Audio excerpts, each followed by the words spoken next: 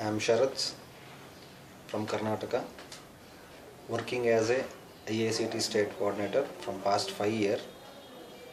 I am very proud to be a part of IACT because IACT is the one of the leading computer institute in India.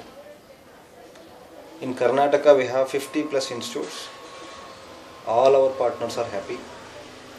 IACT supporting in terms of marketing, placement, distance education, and government projects. This all helps to increase our branches in Karnataka. So I am always thankful to IACT team and partners. Thank you.